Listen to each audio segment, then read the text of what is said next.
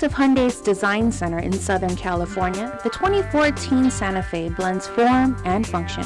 Its substantial visual presence translates into an impressive 160 cubic feet of interior volume and seating for five, six, or even seven.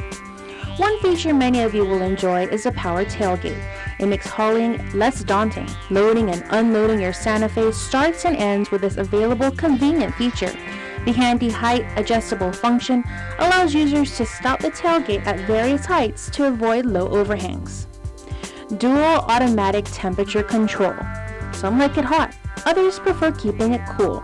Either way, this available feature ends those front seat climate conflicts by letting the driver and front seat passenger set and monitor temperatures separately.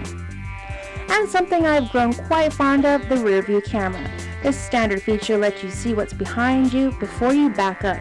Select reverse and get a view of what's behind the vehicle on either the 4.3 inch touchscreen color display or the available 8 inch touchscreen. A comfortable space that you can do so much with. It starts with seats for 5, 6, or 7. In this case, 6, that includes available second row captain's chairs.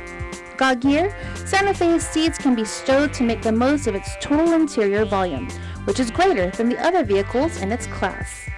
And everybody likes the idea of more airbags. Santa Fe puts great ideas into action.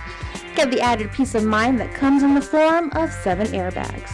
Don't wait. Head on over to Cars Plus and Maite and check out the 2014 Hyundai Santa Fe. Trust me, you will not be disappointed. And for the very latest, log on to www.carsplusguam.com and follow Cars Plus Guam on Instagram and on Facebook.